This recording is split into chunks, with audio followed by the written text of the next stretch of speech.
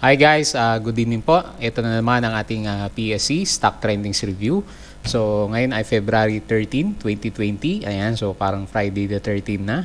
So ang mga nagtap natin si ISM, si Tech, si Fruit, si MWC, CUL, Vicor, ABA, CHP, ANI, at ang ating uh, PSEI Index. So umangat naman ang si PSEI Index at uh, umabot siya ng 7,403.12. Pero buong umaga is mapula po ang ating PSEI market. Ayan. So bago tayo magpatuloy guys, uh, pakibasa po lagi ang ating uh, disclaimer.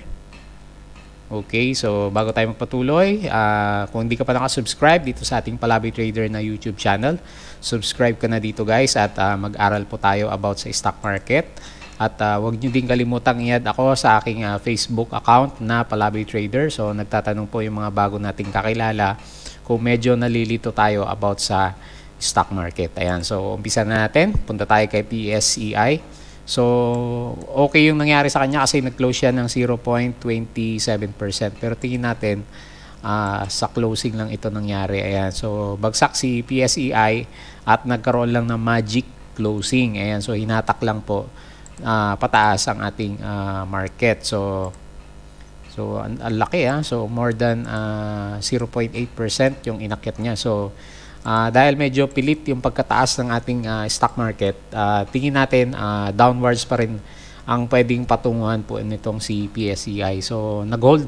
Tingin natin, uh, based sa charts lang, nag-hold itong MA9 natin. Pero hindi siya yung totoong nag-hold talaga kasi binatak lang po yung kanyang price. So, tingin natin, uh, bukas, babagsak pa rin ang ating uh, PSEI market dahil hindi maganda yung kanyang pinatutunguhan. So, bukas pa naman yung MACD, saka yung RSI natin is, sabi nga natin, nakawala dito sa kanyang descending uh, trend lines. Pero mukhang hindi maganda kasi guys yung ano eh, yung balita about sa coronavirus. So, tinitingnan ko kan kanina, uh, dumadami pa din po yung namamatay dun sa China. Kaya siguro uh, umaalis po karamihan ng ating mga investors. So kanina tin tinignan ko din yung kanyang net foreign uh, buying at uh, meron po siya negative 528.74 million. So indication na uh, hindi lahat ng uh, pumasok sa ating uh, PSE nung nakaraan ay nag stay sa kanya. So medyo malaki din yung lumabas na volume. Kaya tingin natin for the coming days uh, tingin natin, kasi nilalagay natin na resistance nung nakaraan araw or support is at 7,300 pero sa pinatutunguhan niya baka bumalik po tayo dito sa level na 7,400 kasi may gap up dito nung nakaraan. Ayan. So yun po yung nakikita natin na pwedeng puntahan ni PSEI kasi uh, matamlay po ang ating uh, market sa ngayon. Ayan. So unahin na natin ulit si ISM so hindi pa rin makaangat itong si ISM guys ha so nag-close siya ngayon negative 7.07% at uh, malakas pa rin yung volume niya. So, nung umaga, nakita natin, uh, sinusubukan nilang iakyat itong si uh, ISM pero hindi naman niya makayang uh, umakyat kasi nga uh, marami po yung nagiging seller sa kanya. So, hanapin ko lang yung 9.30 a.m. Ayan, so pagbukas pa lang pala nitong si ISM, uh, lumagapak siya. Umakyat siya ng konti, nagkaroon ng fake out at then uh, bumagsak na siya ng laki ah, more than 5%. Tapos uh, trinay niya mag-recover ng bandang hapon uh, dito sa prices natin na to at around 1.93. Pero uh, malakas pa rin po talaga yung selling pressure dito kay ISM. So hindi pa yan yung bottom niya guys ha. So ingat-ingat muna tayo dito kay ISM kasi tingin natin babagsak pa nga siya. So, kagaya ng huling uh, expectation natin, so medyo delay yung ating uh, charts.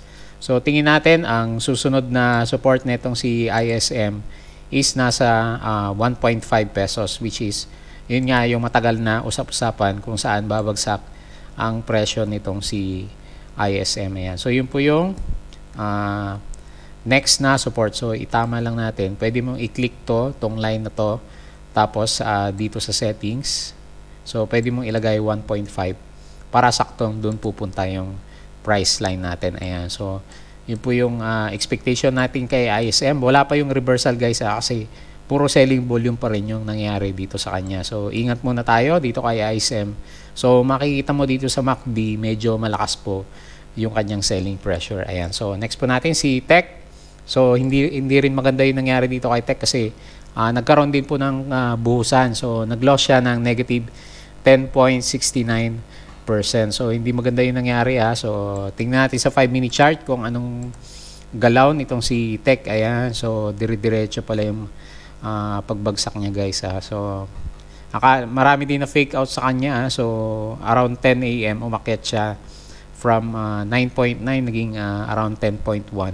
Then suddenly pagdating ng 10.55 nagbuhos na. Ayan. So, uh, diretso na yung pagbaba ni Tech. So, tingin natin profit taking na kung sino man yung uh, lumabas dito na medyo malaki po yung uh, volume. So, based naman sa reviews natin ng mga nakaraan, uh, medyo downwards nga tayo dito kay Tech kasi yung pinapakita ng price volume tapos yung mga indicators kagaya ng RSI natin at saka MACD is all uh, pointing downwards na. So malakas yung selling pressure uh, lalo na meron tayong uh, issue about sa coronavirus. So nag-support siya ngayon at uh, 8.85 pero dahil medyo uh, pessimism ang uh, gumagana sa ating market sa ngayon. So tingin natin uh, itatry niyang i-retest itong 7.76.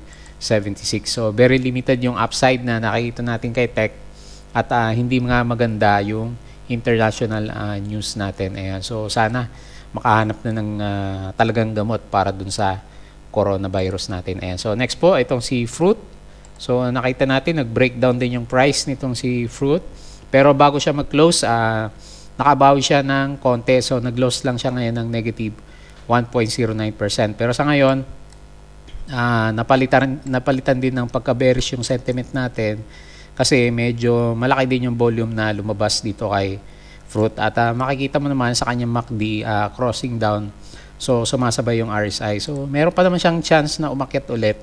Uh, kasi hindi pa naman niya nababasag yung bullish level natin dito. So around 52% siguro kasi may consolidation dito ng RSI. So pwede maging resistance level yan. So hanapin natin yung kanyang mga next supports dito sa kanyang price line. So tingin natin itong MA20, malakas naman ang support niya kasi ilang beses uh, nag-bounce po dito yung kanyang price nung nakaraan. Pero kung sakali, sakaling mabasag niya lang yan, so babalik tayo dito sa around 1.6 siguro na uh, support level natin dito. So medyo bearish tayo sa kanya kasi uh, yun nga, ganun nga yung market natin sa kanya. So meron na siya na buo na maliit na descending uh, trend lines dito. So pag nakalabas siya, expect mo may continuation pa yung movement nitong si fruit. Pero pag ilang beses siya nagtatry, uh, hindi po siya makalampas dito. So, ang expectation, i-retest niya itong 1.6 na support level natin sa kanya. Ayan. So, next po natin si MWC. So, hindi na makaantay ng positive news yung mga holders natin kay MWC. Kaya, uh, patuloy pong uh, pakonti-konti bumabagsak yung price ni MWC. So, nag-loss siya ngayon ng negative uh, 3.66%. So, malinaw na na meron din siyang descending triangle na nabubuo dito. So, hanapin natin yung support. So, tingin natin, uh, ang next na support nito, tingin natin babagsak pa ng konti itong si MWC at ang possible support is yung MA20 natin kasi uh, nagko-coincide dito sa previous uh, price natin kung saan nagkaroon ng uh, resistance. Ayan. So, yan po yung possible na next support nitong si MWC. So, wag ka muna mag-expect ng tataas ngayon kasi uh, lahat ng indicators din niya ay pabagsak. So baka magkaroon ng double bottom yung ating uh, ah, PSCI market. Ayan. So next po natin si COL Financial. So wala namang makikita sa kanyang chart. So marami pa rin ang nagrereklamo dito sa kay COL. Uh, ah, kasi nga uh, medyo minsan hindi ma-access yung kanyang website. Ayan. So marami na nag-iisip na nagbabalak pumunta sa AAA Securities ba yun? Uh, kasi nga uh, meron siyang auto cut loss level. So tayo naman umaasa pa rin tayo na maayos ni Cole yung kanyang uh, system kasi ang pinag-uusapan kasi dito guys yung ano eh, yung trust doon sa isang company kung saan ka naglalagay ng pera. So karamihan kasi ng mga Pilipino dito po kay COL talaga naglalagay kasi trusted na siya. So yung system nga lang niya hindi pa siguro upgraded at sa sobrang dami ng uh, Pilipino na dito nag-a-access kaya madalas mag-breakdown yung kanyang system kapag marami po nagsisell. So, pabagsak kasi lahat ng markets kaya walang magawa yung mga investors kundi lumabas. So, pag sabay-sabay tayo lumabas, uh, nagahang yung system ni CUL. Ayan. So, sana maayos ni CUL yung kanyang uh, problema sa kanyang system. So, tayo, tsaga-tsagalan na lang muna. So, kung hindi maganda yung ano, yung puputahan ng markets, wag muna tayong uh, maglalagay ng uh, malaking amount doon sa mga tinitrade natin sa kanya. Ayan. So, next natin itong si Bicor. So, kahapon ang expectation natin, uh, may possible momentum kay Bicor pero mukhang hindi yun yung nangyari sa kanya. Pati yung expectation na sana nat sana natin yung support level niya dito sa half body ng kanyang candle. Pero nung nabasag na nga niya dire-diretso naman na yung pagbaba nitong CB Core so ang laki din ha? Negative 15.66% ayan so sana nakalabas kayo kasi uh, gaya ng sabi natin alam naman natin itong si Bicor pinipitik lang po yan so inaakit lang tayo na pumasok dito kasi nga yung ibang stock wala tayong mapuntahan sa kanya so sa ngayon mas maganda i-park mo muna sa labas ang iyong pera kasi baka matempt ka pumasok sa mga gantong place. Uh, maraming po naiipit so nagpa-profit taking ka agad yung mga nagtataas ng kanyang price. Ayan. So hanapin natin ha. So ito yung kahapon yung closing niya at 325.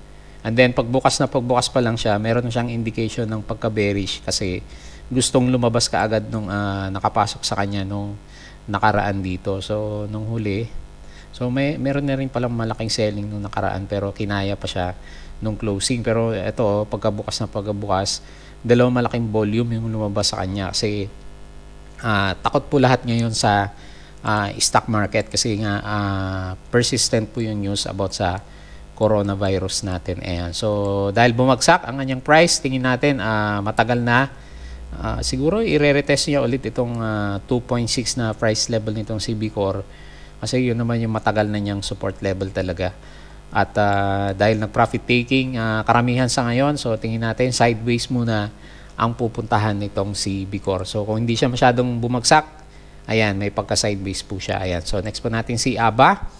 So akala ko mag-close din na negative itong si ABA kasi, kasi uh, tinitignan din natin to nung nakaraan kasi medyo maganda yung mga previous volumes niya. So tingnan natin na kung ano nangyari sa kanyang 5 minute chart. So medyo basag-basag yung nakikita nating price kasi uh, wala po masyadong nagtitrade dito kay uh, ABA, ABA Core. Ayan, so uh, laki ng binagsak niya hanggang 0.83.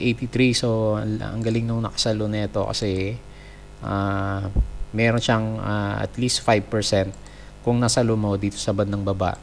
Itong si ABA. Ayan. So meron kasing parating na ano ba tawag dito, uh, cash dividend. Ayan. So, mal- medyo malaki din yan eh. So, sa current price niya, more than 10% yata itong ano, uh, possible na gain mo kung mahuli mo tong ex-dividend date ni ABA. So, wag lang bumaba ng 10% kasi kung pumasok ka na ngayon at bumagsak din ng 10%, uh, naipit ka lang dito kay ABA. Ayan. So, pero maganda yung pinap yung chart niya lang mismo ah. So, medyo nag, uh, nakalabas siya sa kanyang uh, descending trend line kasi nung nakaraan pero namatay naman yung momentum at parang pabalik ng bearish yung pupuntahan ng prices nitong si ABA. So tingnan natin kung anong mangyayari in the next coming days. So medyo nabasag na niya kasi sana support niya itong MA 100A. So tingnan natin bukas kung magre-retest siya dito sa around 0.85. So kung hindi man dito sa baba, so pwede siguro dito no at around 0. 0.8 yung medyo malakas na support nitong si ABA. So, pag hindi nag-continuation, nagkaroon ng continuation, yung pagtaas ng kanyang price, tingin natin, uh, merong, uh, ayan, so meron palang medyo malaking descending triangle na binuo itong si ABA. So, tingnan natin, pag naka, nakalabas siya dito sa descending trend lines na nakita natin, may possible uh, upplay itong si ABA. Pero pag hindi, uh, magko-consolidate lang siya hanggang sa dumating yung kanyang uh, dividend. Ayan. So next po natin si CHP. So medyo may marami din naipit dito na kakilala natin na kasi marami na nainggan yung pumasok sa kanya na magkaroon siya ng upsurge ng volume. Nung nakaraang uh, magkaroon siya ng stock rights offering pero uh, medyo negative yung news sa kanya kasi parang hindi siya masyado namang kumikita. Ayan. So uh, medyo malakas pong uh, downtrend itong si CHP. So kikita mo naman uh, mula nung IPO niya, hindi na nakaangat itong si CHP. So sa ngayon, uh, tingin natin bago ka pumasok dito kay CHP, siguro maganda antay mo ma-break itong MA20, itong yellow line natin at magkaroon ng upward momentum yung RSI kasi yung RSI naman niya patay siya. So hindi siya, wala masyadong bumibili dito kay uh, CHP. Yun lang yung ibig sabihin niya. So bukas yung MACD pero halos sa uh, pagapang naman yung mga paggalaw niya. So maganda antay natin maka-breakout siya dito sa ME 20 para magkaroon siya ng possible, pa, possible uh, trading play kasi uh, mula November last year hindi na siya makalabas uh, dito po sa ating MA20. So sa ngayon bearish itong si CHP at may possible downside pa siya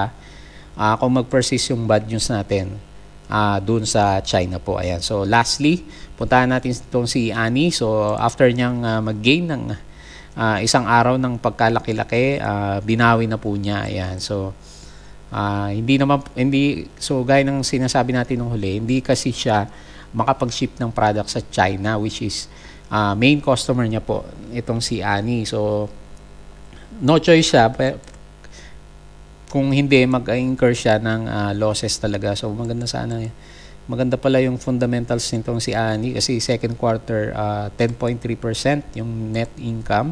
So malaki din ha, 36.84 million kumpara sa ating mga penny stocks. Pero ngayon, ang expectation kasi kay Ani dahil hindi siya makapag-ship, malulugi siya ngayon in the near term. So tayo naman as a traders, wala pa, wala pa tayong makitang uh, magandang entry guys uh, dito kay Ani. So Uh, kung wala kang mahanap na stocks na patutunguhan natin sa ngayon kasi pabagsak po lahat, uh, pwede naman wag ka munang pumasok sa kanya. So sabi nga nila, uh, being out of uh, stock or being in cash is also a position. Ayan. So, yun lang guys. Sana may nakuha kayong mga insights dito sa ating mga review. So, medyo hindi po maganda uh, pumasok ngayon dito sa ating uh, PSEI market.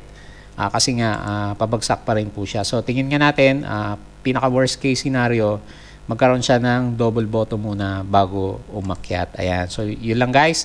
Don't forget to subscribe dito sa ating Palaboy Trader na YouTube channel. So, mag-aral ka muna habang bagsak ang ating market. At uh, kung nalilito, nalilito ka, di mo alam mo yung gagawin sa uh, hawak mong uh, stocks or medyo lugi ka na. Ayan. So, usap tayo ng konti dito sa ating Palaboy Trader na Facebook account. Ayan. So, yun lang guys. Maraming salamat sa inyong panonood at pakikinig.